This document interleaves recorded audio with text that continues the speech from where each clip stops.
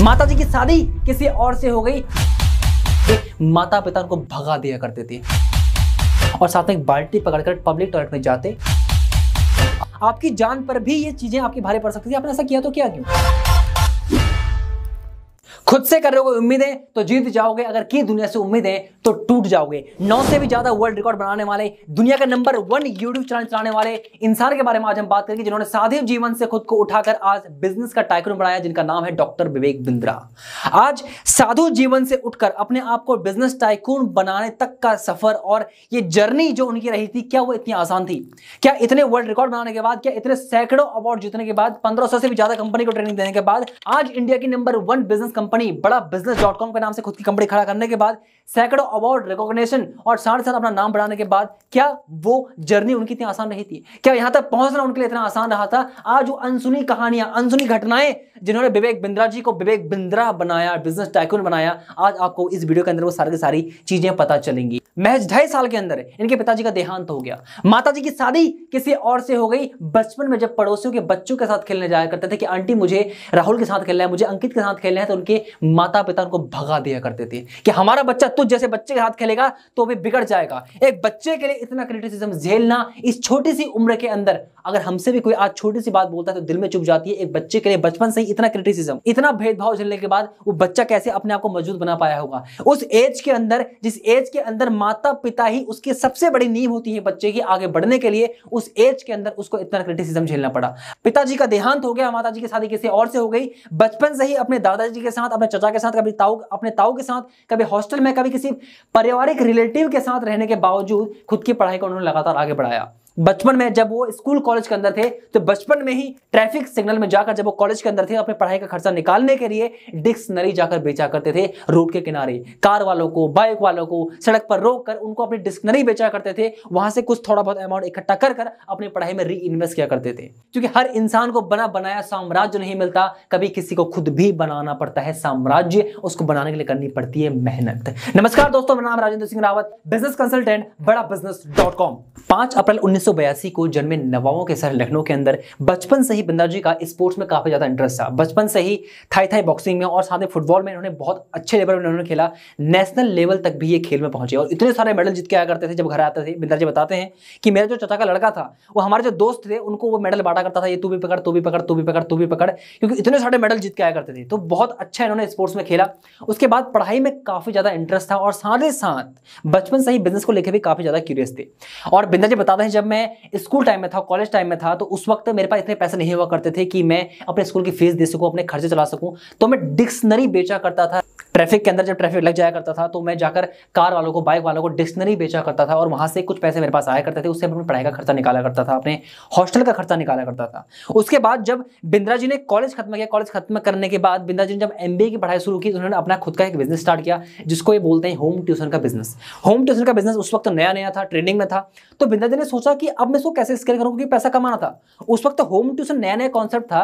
Home tuition के अंदर क्या होता है कि एक टीचर आता है और आपके बच्चे को घर के अंदर आके पढ़ाकर वो चला जाता है अपनी फ़ीस लेकर। तो बिंद्रा जी ने क्या किया? बिंद्रा जी के एक रिलेटिव केबल टीवी में काम करते थे तो उन्होंने क्या किया? वहाँ पर एड दे दिया नीचे, एक बैनर में एड दे दिया और वहाँ पर एड चलाने लगे। एड चलाने के साथ साथ उन्होंने एक बंदा हायर कर लिया जो वहाँ से आई कॉल को उठाएगा।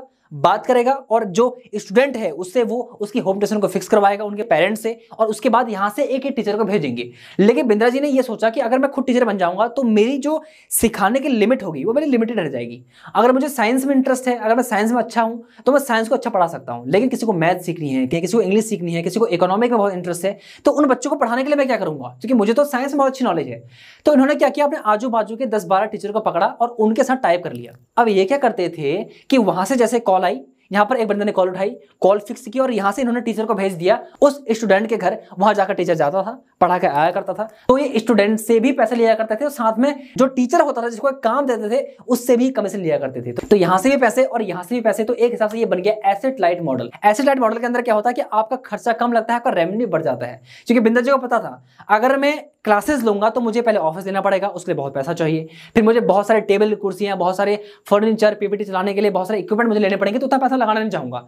तो मैं होम ट्यूशन का कॉन्सेप्ट लॉन्च करता हूँ और इनका होम ट्यूशन का कॉन्सेप्ट चल भी पड़ा। काफ़ी लंबे समय तक उन्होंने बहुत अच्छा पैसा कमाया, बहुत अच्छी सेविंग करी और अपने पढ़ाई में बहुत पैसा इन्वेस्ट किया। लेकिन जब इनका लंडन बिज़नेस स्कूल के अंदर इनकी मैनेजमेंट की पढ़ाई का सिलेक्शन हो गया तो उस वक्त इनको काफ़ी ज़्यादा पैसे की नीड हुई।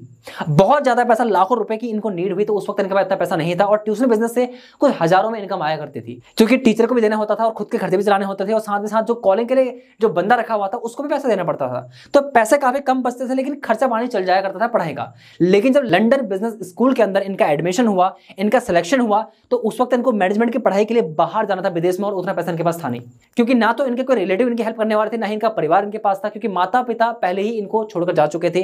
पिताजी का देहांत हो गया माता की शादी किसी और से हो गई। और किसी बैंक से जाकर लोन ले नहीं सकते थे, क्योंकि बैंक में अगर आप जाओगे तो आपको गारंटर चाहिए, आपको डॉक्यूमेंट चाहिए जो उनके पास थे नहीं। तो जब ये मैनेजमेंट की पढ़ाई करने नहीं जा सके, बहुत मशक्कत की, मेहनत की, लेकिन इतना पैसा जुटा पाना बहुत ज़्यादा मुश्किल था। कम पैसा होता लाख रुपए होते, एक दो लाख रुपए होते तो जुटा लेते लेकिन इतना बड़ा पैसा, क्योंकि मैनेजमेंट की पढ़ाई करनी है और लंदन बिज़नेस स्कूल के अंदर तो बहुत ज़्यादा वहाँ पर पैसा चाहिए और इतना पैसा इनके पास था नहीं। तो पैसा ना होने के कारण इनको वहाँ जाने का मौका नहीं मिला और बहुत ज़्यादा उदास थे, बहुत ज़्यादा तनाव में जा चुके थे। लेकिन फिर भी इन्होंने स्पोर्ट्स से जो सीखा था कि स्पोर्ट्स के अंदर एक बार हम जीत कर, एक बार हम हार कर, जब दोबारा खड़े होते हैं, दोबारा हम जीतते हैं तो वहाँ से एक स्ट्रेंथ मिलती है तो उससे काफ़ी ज़्यादा कवर ऑफ़ हुए। लेकिन जब इन्होंने एमबीए की पढ़ाई खत्म की एमबीए की पढ़ाई खत्म करने के बाद, जब इन्होंने देखा कि आसपास, ना तो उनके पिताजी अब है इनके साथ, ना कि माता जी इनके साथ है, और ना ही इनके कोई सगे भाई बहन है, और ना ही इनके रिश्तेदार हैं, जिनके साथ आगे की जीवन जी सके। तो जब इन्हें आसपास कोई भी नहीं दिखा तो उन्होंने भगवान के शरण में जाने का निर्णय लिया, और ये फिर जाकर इस्कॉन में जाकर इन्होंने वहाँ जाकर सन्यासी का रूप धारण कर लिया। वहाँ जाते, चैंटिंग करते, सुबह उठते, भजन कीर्तन करते, भिक्षा मांगते, मुंडन कर लिया, धोते कुर्ते में रहते, उबला खाना खाते, लोगों की जाके सेवा करते, ये सारे काम करने लगे। तो इन्होंने बिल्कुल सांसारिक जीवन से अपने आप को आध्यात्मिक जीवन में डाल दिया, और वहाँ पर बिंदा जी का नाम आप में से 95 परसेंट लोगों को पता ही नहीं होगा, बिंदा जी का नाम इस्कॉन के अंदर वेणु माधव प्रभु जी था। और वहाँ भी इनके बहुत चर्चे हैं। आज भी इनके ग्रुप के जो लीडर हैं, जो इनके साथ के वहाँ के लोग हैं, वो बताते हैं कि बिंद्रा जी अकेले इतना कलेक्शन कर लिया करते थे, इतना अकेले फंडिंग को एक्सट्रैक्ट कर लिया करते थे कि पूरा ग्रुप भी उतना नहीं कर पाता था। क्योंकि इनकी कन्विक्शन पावर इनकी बिज़नेस की नॉलेज और भगवत गीता का पाठ करने के बाद, भगवत गीता के अंदर इन्होंने इतनी सारी चीज़ें सीखी कि उसके बाद इनका दिमाग इतना शार्प हो गया इंद्रियों में कंट्रोल कर लिया, ब्रह्मचर्य जीवन जीने लगे जिससे इंद्रियों में इतना ज़्यादा कंट्रोल आ जाता है, आपके सेंसेस को इतना ज़्यादा कंट्रोल में आप लेके आ जाते हैं कि आप किसी को भी बात करके कन्विंस कर सकते हैं। क्योंकि मैं भी एक बार गया था दिल्ली के अंदर तो मैंने वहाँ एक महीना मैंने बिताया और इस्कॉन के अंदर में रहा। मैंने भजन, कीर्तन चैंटिंग ये सारी चीज़ें मैंने भी की। तो वहाँ से इतना ज़्यादा कंट्रोल मेरे माइंड के ऊपर आया, इतना ज़्यादा कंट्रोल करने की क्षमता मेरे अंदर आ गई। अपने आप को मैं काफ़ी ज़्यादा कंट्रोल करने लगा और बहुत तेज़ी के साथ अपने माइंड को साफ़ करते रहा। क्योंकि इतने तेज बचपन से, इतने शार्प कि किसी को भी बात करके कंट्रोल में करने की ताकत इनके पास आ चुकी थी और बहुत अच्छा वहाँ भी करने लगे।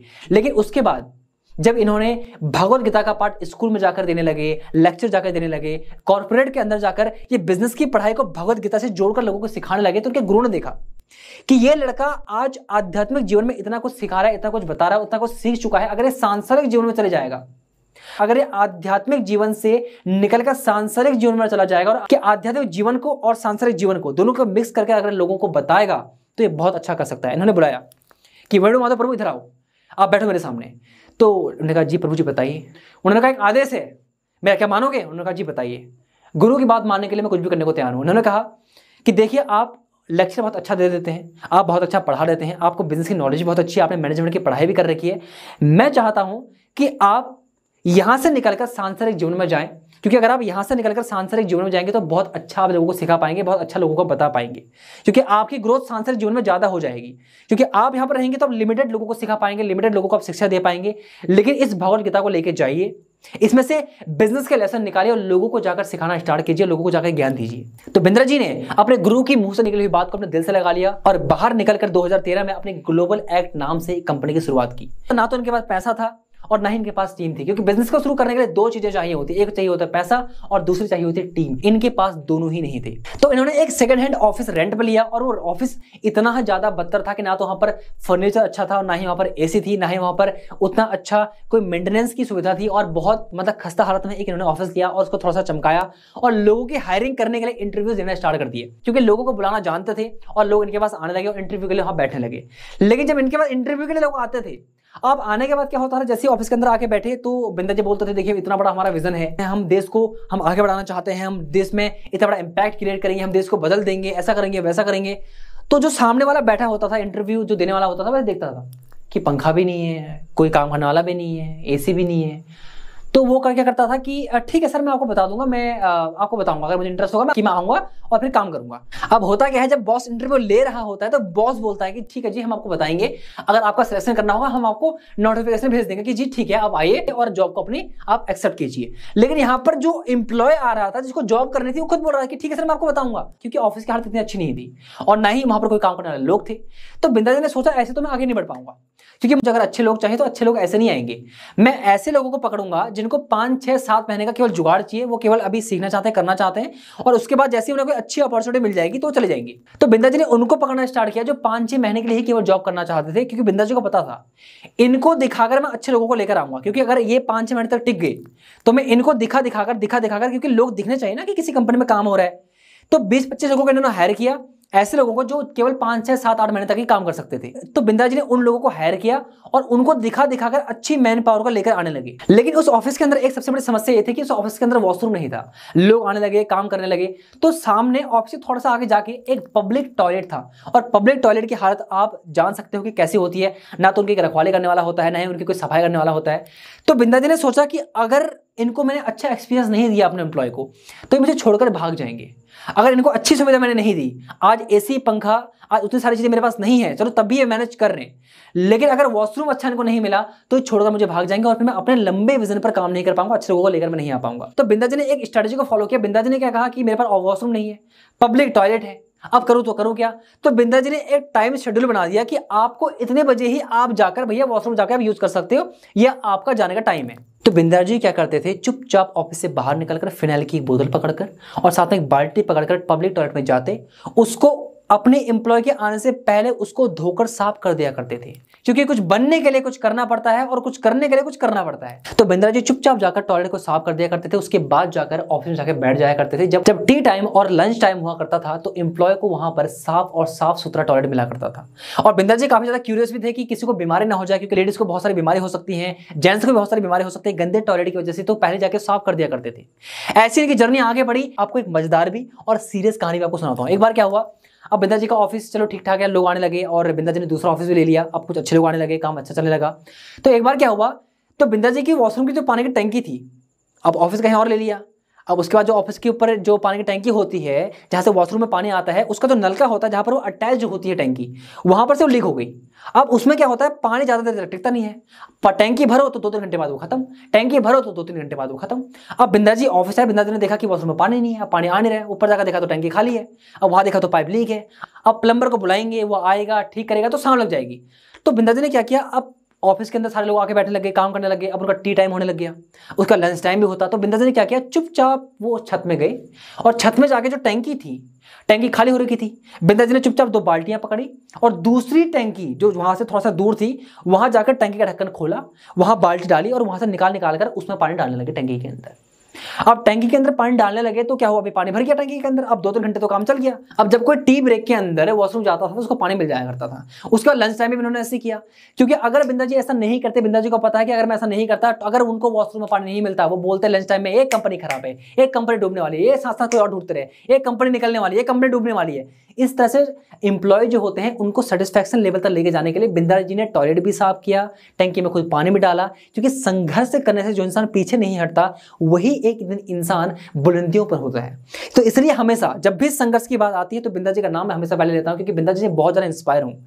बचपन की कहानी से लेकर अभी तक आपको जो मैंने कहानियाँ बताई ये तो अभी शुरुआत है, अभी आपको बहुत सारी चीज़ें बताने वाला जो आपने आज तक नहीं सुनी।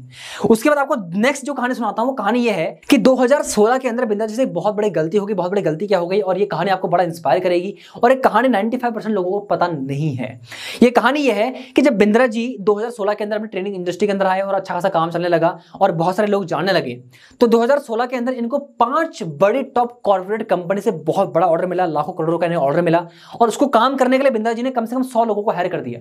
अब सौ लोगों को हायर किया, उनसे काम करवाने लगे और अचानक क्या हुआ? एक दिन कंपनी से पाँच की पाँच कंपनियों से मेल आती है कि, कि हम अपनी ट्रेनिंग को कैंसिल करवा रहे हैं हम आपके साथ काम नहीं करना चाहते और उन्होंने ट्रेनिंग को कैंसिल कर दिया। और बिंदा जी ने उनके ही बलबूते पर उनके ही काम को करवाने के लिए सौ लोगों को हायर कर लिया। अब बिंदा जी संकट में आ गए क्योंकि कंपनी के अंदर हड़कप मच गया। एकदम से पाँच प्रोजेक्ट फेल हो गए और इतना पैसा कंपनी के अंदर था नहीं कि वो सौ से भी ज़्यादा एम्प्लॉय को सैलरी पे कर सके। तो बिंदा जी बड़े सदमे में थे और सारे साथ जो कंपनी थी, कंपनी के अंदर बड़ा हड़कप मच गया कि कंपनी डूबने वाली है, कंपनी का काम खत्म हो गया, कंपनी का नाम बर्बाद हो गया, अब पैसे कहाँ से आएँगे, ये, वो। लेकिन बिंद्रा जी हमेशा अपनी सैलरी को टाइम पर पे किया करते थे। हर महीने की सात तारीख को कंपनी के अंदर जो भी इंप्लॉय थे उन सबको सैलरी पे हो जाया करती थी। लेकिन बीस तारीख को जो ऑर्डर इनका कैंसिल हो गए, पाँच के बाद ऑर्डर कैंसिल हो गए, उसके बाद बिंदा जी ने सोचा, अभी मेरे पास कम से कम सत्रह से अठारह दिन है। अब मैं सत्रह से अठारह दिन के अंदर क्या करूँगा, मुझे नहीं पता। तो बिंदा जी ने चुपचाप अपने घर को बेचकर पैसा लिया और सात तारीख को सारे इंप्लॉय को पैसा दे दिया, सौ के सौ इंप्लॉय को। उसमें से कुछ इंप्लॉय चले गए पैसा लेने के बाद। जो कुछ, जो कर्मचारी थे, उनको उन्होंने हाथ जोड़कर धन्यवाद किया कि हम आपको अभी अब और नहीं रख सकते क्योंकि हमारे पास अभी इतना काम नहीं है। लेकिन बिंद्रा जी ने खुद को दोबारा से रिबिल्ड किया।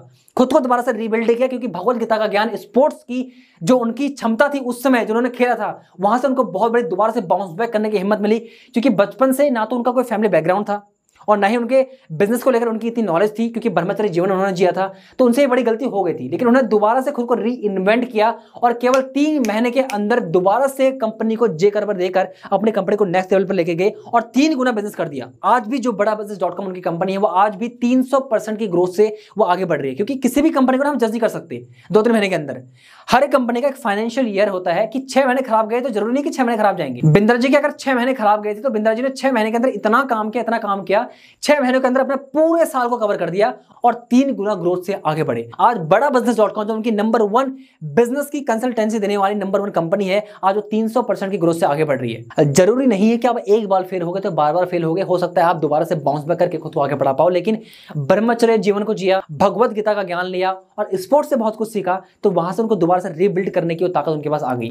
तो इसलिए हमेशा कहते हैं, जो इंसान संघर्ष में खुद को मज़बूत बनाकर रखता है एक दिन वही दुनिया को बदलने की ताकत रखता है। इसलिए हमेशा कहता हूँ आपसे कि कभी भी लाइफ में छोटे मोटे अगर आपके लाइफ में परेशानियाँ आती हैं तो आप दोबारा से खुद को रिबिल्ड करिए और दोबारा से आगे बढ़ाइए। ये जो बिंदा जी का आपको स्ट्रगल बता रहा हूँ, हमारी स्ट्रगल तो उनके सामने एक ज़ीरो स्ट्रगल है, क्योंकि इतनी स्ट्रगल कंपनी का प्रोजेक्ट छूट गया माता पिता का साथ छूट गया घर वाले कोई नहीं डिक्शनरी बेचनी पड़ी कंपनी के प्रोजेक्ट फेल हो गए ट्यूशन बिज़नेस खत्म हो गया एडमिशन नहीं हुआ, और साढ़े साथ वो फैसिलिटीज़ नहीं मिल पाई बचपन से, जो फैसिलिटीज़ इनको मिलनी चाहिए थी। तो खुद को रिबिल्ड किया और दोबारा से अपनी कंपनी को जे कर देकर दोबारा से आगे बढ़ाया। उसके बाद नेक्स्ट जो आपको कहानी सुनाना चाहता हूँ कहानी बड़ी ज़बरदस्त है, इस कहानी को सुनकर आपके अंदर बहुत मोटिवेशन आएगा। और बिंदर जी को मैं इसलिए इतना ज़्यादा पसंद करता हूँ बिंदा जी के साथ मैं खुद एसोसिएट हूँ। मैं खुद इनकी इतनी रिस्पेक्ट करता हूँ कि ये कहानी जब सुनी मैंने, ये कहानी जब जानी मैंने तो मेरे अंदर से रोंगटे खड़े हो गए। क्योंकि खुद एक इंसान जिसके साथ आप जुड़े हुए, खुद उसने जब इतनी स्ट्रगल की है तो आपके पास कोई एक्सक्यूज देने का मौका नहीं होता कि आप एक्सक्यूज दे सको। क्योंकि उस इंसान ने अपने आप को वहाँ से बिल्ड किया जहाँ लोग आत्महत्या कर लेते हैं, खुद को बर्बाद कर लेते हैं, लेकिन उस इंसान ने अपने आप को टॉप लेवल का बनाया बिज़नेस टाइकून बनाया। नेक्स्ट कहानी। शुरुआती समय में बिंदा जी को एक कंपनी में ट्रेनिंग का ऑर्डर मिला, पाँच लाख रुपए का। कि हम आपको पाँच लाख रुपए देंगे, आप हमारी जो कंपनी का सेल्स टीम है, उसको आकर ट्रेनिंग दे दो, हमारी कंपनी को ट्रेनिंग दो ताकि हमारी और सेल्स बढ़ जाए। तो बिंदर जी के जो कॉलिग थे, उन्होंने जाके बताया कि हमको एक कंपनी का ट्रेनिंग का ऑर्डर मिला है। तो बिंदर जी ने बताया, कितने लाख का मिला ऑर्डर तो उन्होंने कहा, सर, पाँच लाख का मिला है। पाँच लाख का मिला है? तो उन्होंने कहा, ठीक है, चलो देखते हैं, क्या होता आगे। तो बिंद्रा जी और उनके जो मैनेजर थे, वो दोनों साथ साथ उस कंपनी में जो जूते बनाने वाली कंपनी थी जिसका इन्हें ऑर्डर मिला था तो वो कंपनी में जाने के बाद जो उनके मैनेजिंग डायरेक्टर थे, उनके बाद जाकर बिंद्रा जी ने जाकर उनसे बात करनी स्टार्ट की। तो बिज़नेस के अंदर ना एक एक फॉर्म फिल करना होता है जिसको हम बोलते हैं NICE analysis need interest concern and expectation इन चार पॉइंट्स में एक कंपनी की ट्रेनिंग को डिज़ाइन किया जाता है। कंपनी के बारे में इन्फॉर्मेशन दी जाती है कि आप हमसे क्या एक्सपेक्ट करते हैं, आपकी प्रॉब्लम क्या है, उसका सोल्यूशन आपको कैसे दे सकते हैं। तो बिंदा जी ने जब देखा तो बिंदा जी ने पहले क्या देखा कि ठीक है कंपनी अच्छा खासा परफॉर्म कर रही है कि हर बार इनकी जो ग्रोथ होती है, बीस से पच्चीस प्रतिशत तक इनकी बढ़ जाती है। हर बार। तो बिंदा ने देखा कि कंपनी अच्छा खासा परफॉर्म कर रही है, कंपनी का फंड भी है, पैसा भी है। तो बिंदा ने क्या किया? नाइस एनालिसिस किया। Need interest concern and expectation तो बिंदा ने क्या किया? सबसे पहले कंपनी को देखा, फिर उसकी प्रोडक्शन को देखा, उनके टीम को देखा, फिर उनके जो डिस्ट्रीब्यूटर थे उसको देखा, फिर जो उनके सप्लायर थे उसको देखा। उन सबको देखने के बाद बिंदा जी ने कुछ प्रॉब्लम को पकड़ा। कि इनकी सेल्स कैसे और एक्सपोनेंशियल ग्रोथ इनकी और हो सकती है। तो बिंदा जी ने बड़े इंटेलिजेंट के साथ जो मैनेजिंग डायरेक्टर थे, उनके साथ बैठे। उन्होंने कहा, सर, देखो, आपकी कंपनी की कंपनी फॉर एग्जांपल 100 करोड़ का बिज़नेस कर रही है। आपकी कंपनी 100 करोड़ का बिज़नेस कर रही है और हर बार आपकी कंपनी 20 से 25 प्रतिशत की ग्रोथ कर रही है। यानी कि हर बार आपने अगर मान लीजिए, इस बार आपने किया सौ करोड़ तो अगली बार आप करते हैं 120 करोड़ 125 करोड़। अगर आपको मैं ट्रेनिंग देता हूँ तो मैं गारंटी दे सकता हूँ कि आज आपकी जो ये ग्रोथ 20-25 प्रतिशत हो रही है, हम 30 प्रतिशत इसको और बढ़ा देंगे। मान लीजिए, आपकी कंपनी ने इस बार किया सौ करोड़ तो अगले एक से दो महीने के अंदर आपकी company hundred and ten percent तीस करोड़ का बिज़नेस एक्स्ट्रा करेगी। और एक गारंटी के साथ में बोलता हूँ तो मैनेजिंग डायरेक्टर ने बोला, जी, वो कैसे करोगे? तो बिंदा जी ने कहा, देखो, आपकी कंपनी आज अच्छा खासा परफॉर्म कर रही है, आपकी सेल्स भी अच्छी आ रही है अच्छा बिज़नेस आपका हो रहा है, आज की कंपनी अच्छे लेवल पर जा रही है, लेकिन इसको स्केल करने के लिए आपको नई स्ट्रैटेजी चाहिए। आपकी कंपनी में मैंने गैप पकड़ लिया है। कि आपकी कंपनी में गैप कहाँ पर हो रहा है? उस गैप को अगर हमने भर दिया अगर आपकी कंपनी में हमने वो ट्रेनिंग दे दी जो ट्रेनिंग वहाँ पर चाहिए तो आपकी कंपनी में 20 से 25 प्रतिशत की जो ग्रोथ आपकी हो रही है, उसमें आप 30 प्रतिशत और एड ऑन कर लो। अगर आपने इस महीने आपने काम किया सौ करोड़ का, अगले महीने आपकी कंपनी ऑलरेडी एक सौ बीस करोड़ का कर रही है धंधा। बीस करोड़ बढ़ रहे हैं आपके। तो अगर हमने आपको ट्रेनिंग दे दी तो वो बीस करोड़ में आप तीस करोड़ और जोड़ दो तो आपकी कंपनी हर बार मल्टीप्लाई करेगी कितना? पचास प्रतिशत का हर बार आपका जो रेवेन्यू बढ़ेगा। तीस प्रतिशत तो मैं आपको वादा कर रहा हूँ, लेकिन ज़्यादा ही बढ़ेगा, कम नहीं। तो जो मैनेजिंग डायरेक्टर था उसने दिमाग लगाया कि अभी हम कर रहे हैं ठीक है 120 करोड़ का हम धंधा कर रहे हैं हर महीने हमारे जो कंपनी है वो 20 करोड़ का धंधा एक्स्ट्रा कर रही है। अगर ये इंसान ट्रेनिंग दे देता है और हमारी कंपनी 30 करोड़ का बिज़नेस एक्स्ट्रा करती है तो, तो अच्छी डील है। तो मैनेजिंग डायरेक्टर ने कहा ठीक है मुझे आपका डील मंजूर है लेकिन आप पैसे कितने चार्ज करोगे? तो बिंदा जी ने कहा पाँच करोड़ लूँगा खाली। मैनेजिंग डायरेक्टर ने थोड़ा सोचा तो उसने कहा ठीक है यार भाई मैं अगर पाँच करोड़ दे रहा हूँ तो हर महीने पच्चीस करोड़ आ भी रहे और ऐसा नहीं कि एक बार आ रहे हैं हर महीने बढ़ता रहेगा बढ़ता रहेगा बढ़ता रहेगा। तो बिंदर जी की सफलता की कहानी है कि उन्होंने उस दिन पाँच लाख के डील को पाँच करोड़ में कन्वर्ट कर दिया क्योंकि बिज़नेस के कुछ फंडामेंटल्स होते हैं। कुछ आपको स्ट्रेटेजीज फॉलो करनी होती है कुछ आपको दिमाग लगाना होता है और, और दिमाग बिंदर जी ने बहुत पहले से सीख लिया था। क्योंकि बुद्धिमान इतने हैं इतने शार्पनेस है कि किसी को भी समझाकर बताकर इतने प्यार से समझाते थे। पहले भी जब स्कॉन के अंदर थे वहाँ से भी इतनी तगड़ी फंडिंग लिया करते थे बहुत तगड़ी। आज भी बिंदर जी का चर्चा वहाँ आज भी है। तो बिंदर जी ने उसको समझाया बताया और मैनेजिंग डायरेक्टर को बताने के बाद उस पाँच लाख की डील को पाँच करोड़ का कर दिया जो पाँच लाख की ट्रेनिंग थी उसको पाँच करोड़ का कर दिया तो सोनी की एक छोटी सी सफलता की कहानी इन स्टेज के अंदर। आप खुद सोचो पाँच लाख की डील को पाँच करोड़ में कन्वर्ट करना। कितना कॉन्फिडेंस चाहिए? बोलने के लिए, वादा करने के लिए और गैप को पकड़ने के लिए। तो बिंदा जी से मैं बुद्धि सीखता हूँ कि इतनी खतरनाक बुद्धि, इतनी शार्पनेस और इतनी इंटेलिजेंस के साथ किसी को बताते हैं, समझाते हैं कि किसी को भी समझाकर उसको नेक्स्ट लेवल पर लेके जा सकते हैं। इस कहानी को सुनने के बाद आपके रोंगटे पे खड़े होंगे और आपको एक जज्बा भी मिलेगा, हिम्मत भी मिलेगी कि कभी भी ज़िंदगी में अपने जवान से कभी पीछे नहीं हटना चाहिए।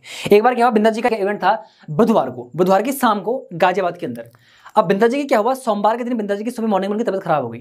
तो बिंदा जी डॉक्टर के पास गए। डॉक्टर के पास गए तो बिंदा जी को डॉक्टर ने कर दिया एडमिट कर दिया। उन्होंने कहा आपको एडमिट होना पड़ेगा। आपकी तबियत बहुत ज़्यादा सीरियस है। आपको हॉस्पिटलाइज होना पड़ेगा।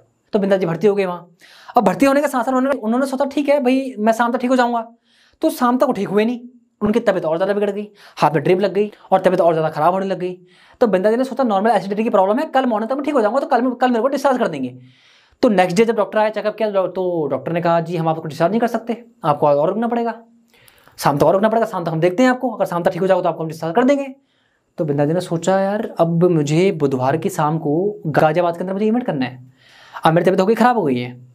तो उन्होंने कहा, ठीक है, शाम तक शायद मैं ठीक हो जाऊँगा तो तो मैं आज और रुक जाता हूँ। तो बिंदा जी रुक गए, ठीक है, ओके जी, कोई बात नहीं। तो शाम को डॉक्टर वापस आया। उन्होंने उन्होंने कहा, जी, नहीं नहीं, हम तो आपको डिस्चार्ज नहीं कर सकते, क्योंकि आपकी तबियत बहुत सीरियस हो गई है। क्योंकि कंडीशन खराब हो गई, क्योंकि हाथ में ड्रिप लग गई। तो बॉडी बहुत ज़्यादा लूज होने लग गई और एनर्जी जो खत्म होने लग गई। तो बिंदा जी बड़े परेशान होने लगे बिंदा जी ने कहा, यार, कल मेरा शाम को इवेंट है और मैं आज हॉस्पिटल के अंदर भर्ती हूँ। मतलब जवान खराब हो जाएगी। इज़्ज़त बड़ी खराब हो जाएगी और नाम बड़ा खराब हो जाएगा। आज तक जो मैंने मेहनत की है, वो बड़ा वो नाम मेरा खराब नहीं होना चाहिए। तो मैं क्या करूँ? तो नेक्स्ट डे जब सुबह डॉक्टर आया तो डॉक्टर ने कहा, जी, हम आपको डिस्चार्ज नहीं कर सकते। हम आपको आज भी डिस्चार्ज नहीं कर सकते क्योंकि आपकी तबियत बहुत ज़्यादा खराब है और अगर आप इस सिचुएशन के अंदर अगर बाहर निकलेंगे, हो सकता है आपकी जान को खतरा भी हो सकता है। तो बिंदा जी ने कहा, ये बड़ी गड़बड़ हो गई। अब शाम को इवेंट है चार बजे। अब बिंदा जी ने क्या किया डॉक्टर ने बुलाया? डॉक्टर का डॉक्टर साहब इधर आओ। डॉक्टर साहब ने कहा, जी बताइए। उन्होंने कहा, आपको अपने हॉस्पिटल को बड़ा करना है? उन्होंने कहा, जी हाँ बड़ा करना है। बिंदत ने कहा, मैं आपको बिल्कुल फ्री कंसल्टेंसी दूँगा बिज़नेस की। आपको फ्री नॉलेज दूँगा कि कैसे बिज़नेस को स्किल किया जाता है, कैसे बिज़नेस को आगे बढ़ाया जाता है। आपको फ्री दूँगा, लेकिन मेरी शर्त उन्होंने कहा, जी, क्या शर्त बताओ? उन्होंने कहा, देखो डॉक्टर साहब, मैं आज शाम को, मैं चार बजे, मैं गाजियाबाद जाऊँगा। दो घंटे का मेरा इवेंट है। मैं दो घंटे का इवेंट करूँगा। और वापस आ जाऊँगा। और दोबारा से उसके बाद आपको मेरा जो ट्रीटमेंट करना है, मेरा ट्रीटमेंट करना। डॉक्टर ने मना कर दिया। उन्होंने कहा, जी, अगर आपको हमने भेज दिया यहाँ से तो आपकी जान पर भी आफत आ सकती है, आपकी जान पर भी आपकी ये जो गलती है, भारी पड़ सकती है। तो बिंदा जी ने कहा, कोई बात नहीं, मुझे अब हॉस्पिटल से एंबुलेंस में भिजवा दो। मैं दो घंटे जाके मैं इवेंट करूँगा, वापस आ जाऊँगा। डॉक्टर माना नहीं पहले तो। बड़ी मुश्किल से मनाया मनाया मनाया तो डॉक्टर मान गया। डॉक्टर मान गया तो बिंदा जी को एंबुलेंस में लेकर गाजियाबाद गए। गाजियाबाद में बिंदा जी ने अपनी ड्रिप निकाली। ड्रिप निकालने के बाद दो घंटे का पावरफुल सेशन दिया एनर्जी के साथ। तबियत खराब होने के बावजूद भी, उसके बाद वापस हॉस्पिटल से, वापस एंबुलेंस में बैठकर वापस हॉस्पिटल में आए। उसके बाद जब हॉस्पिटल के अंदर आए तो टीम के अंदर जो भी लोग हक्के बक्के रह गए कि इतनी कमिटमेंट कि इंसान की जान पर बनी हुई है फिर भी इंसान जाके इवेंट कर रहा है, फिर भी इंसान जाके बोल रहा है, फिर भी इंसान जाके अपने कमिटमेंट में बिल्कुल खड़ा उतर रहा है। तो उनसे पूछा बिंद्रा जी आपने ऐसा क्यों किया? आपकी जान पर भी ये चीज़ें आपकी भारी पड़ सकती थी। आपने ऐसा किया तो क्या क्यों? तो बिंदर जी की बात है बिंदर जी की जो लाइन है वो आपको मैं बोलना चाहता हूँ। इस लाइन को बड़े ध्यान से सुना बिंदर जी बोले, मेरी तबियत तो दो तीन दिन बाद ठीक हो जाती, लेकिन मेरी दी हुई जबान और मेरी विश्वसनीयता जो मैंने आज इतने सालों तक बना के रखी हुई है, वो हमेशा के लिए खत्म हो जाती। तो कभी भी अगर आपके मुँह से जो जवान निकल गई उसको पूरा करने के लिए अगर आप मेहनत करते हो तो आपके साथ जो बने हुए लोग हैं, वो भी आपके ऊपर ट्रस्ट करते हैं। उनकी भी एनर्जी बढ़ जाती है। उस दिन से टीम की एनर्जी बिंदर जी की जितने भी टीम मेंबर थे, सबकी एनर्जी हाई हुई और हाई होने के साथ साथ बहुत ज़्यादा इंस्पायर भी हो कि हमारा अगर हमारा लीडर ऐसा करना जानता है, अगर हमारा लीडर इतना पैशनेट है तो हम भी काम करेंगे। और उसी का रिज़ल्ट आज देखने को मिलता है कि बड़ा बिज़नेस डॉट कॉम जो उनकी कंपनी है, तीन की ग्रोथ रेट हासिल कर रही है। हर बार तीन की ग्रोथ से आगे बढ़ती है और इंडिया की नंबर वन एक ऐसी कंपनी है एडवर्टाइज इंडस्ट्री के अंदर, जो तीन से आगे बढ़ रही है। बिज़नेस फ़ील्ड के अंदर। तो कभी भी अगर आपको अपने लाइफ में कमिटमेंट हासिल करनी है, ज़िंदगी में अगर आपको अपने आप को मज़बूत बनाना है बिज़नेस तो हासिल करनी है तो अपने कमिटमेंट पे हमेशा खड़े उतरें, अपने आप को हमेशा बिल्ड करें और अपने कमिटमेंट को कभी भी ना छोड़ें। क्योंकि एक बार अगर भरोसा टूट गया, अगर ट्रस्ट टूट गया तो हमेशा कल खत्म हो जाता, दोबारा वो भरोसा और ट्रस्ट दोबारा कभी नहीं बन पाता।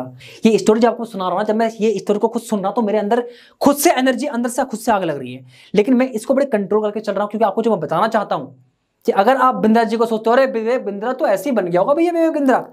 ये जो स्टोरी आपको सुना रहा हूँ, ये रियलिस्टिक है, ये सच्चाई है, ये सच है। और इसको सुनने के बाद जब मेरे अंदर वो एनर्जी आई थी, मैं भी जी के साथ एसोसिएट हुआ था, मैंने भी अपने बिज़नेस की शुरुआत की थी, और मैंने भी इन्हीं चीज़ों को फॉलो किया। मैंने भी इनसे ही सीखा कि स्ट्रगल करनी ज़रूरी है। लाइफ में स्ट्रगल नहीं करोगे लाइफ में कभी आगे नहीं बढ़ पाओगे। आज मेरा बिज़नेस भी बहुत तेज़ी के साथ आगे बढ़ रहा है क्योंकि मैं भी बिंदा जी से सीख रहा हूँ लर्न कर रहा हूँ और अर्न कर रहा हूँ और साथ में आगे भी बढ़ता जा रहा हूँ। उसके बाद नेक्स्ट कहानी जो आपको सुना रहा हूँ, बड़ी फनी है। आपको बड़ा मज़ा आएगा सुनकर। बिंदा जी ने क्या किया था? जब बिंदा जी ने अपनी ग्लोबल एक्ट की शुरुआत की थी, उस वक्त बिंदा जी क्या थे? अकेले थे। अब ये सेल्स भी खुद देखते थे फॉलो भी खुद देखते थे मार्केटिंग भी खुद देखते थे कॉन्टेंट भी खुद देखते थे कस्टमर से पेमेंट भी, जो उनके क्लाइंट थे, उनसे पेमेंट भी खुद कलेक्ट किया करते थे। तो बिंदा जी ने सोचा मेरे को थोड़ा सा ना प्रोफेशनल दिखना पड़ेगा। तो अपने कंपनी की सात आठ ईमेल आईडी बना दी और अलग अलग ईमेल आईडी से अलग अलग ईमेल आईडी से अपने जो क्लाइंट थे उसको मैसेज किया करते थे। कभी सेल्स टीम बनकर, कभी फॉलोअप टीम बनकर, कभी कंटेंट टीम बनकर, कभी पेमेंट की टीम बनकर, उनसे बात किया करते थे। तो सामने वाला का जो कस्टमर होता था, उसके माइंड में बड़ा इंप्रेशन पड़ता था वो मतलब इतनी बड़ी कंपनी है। मतलब इतने डिपार्टमेंट एक साथ बात कर रहे हैं, वहाँ पर डिपार्टमेंट बात नहीं कर रहे होते थे, वहाँ पर इंडिविजुअली विवेक बिंदा जी खुद एक एक एक एक करके रिप्लाई करते थे ईमेल आईडी का। उससे कस्टमर के दिमाग में अच्छा सिग्नल जाता था कि कंपनी बड़ी है। इससे होता क्या है, क्योंकि अगर आप अकेले हैं, इसका मतलब थोड़ी कि आप अकेले हैं। अगर आप अकेले हैं तो अकेले भी बहुत कुछ कर सकते हैं। क्योंकि शुरुआत में आपको सारी चीज़ें खुद करनी होती हैं। शटर उठाना भी खुद होता है, बंद भी खुद करना होता है, खुद टॉयलेट भी साफ़ करने होते हैं, खुद टैंकी में पानी भी डालना होता है।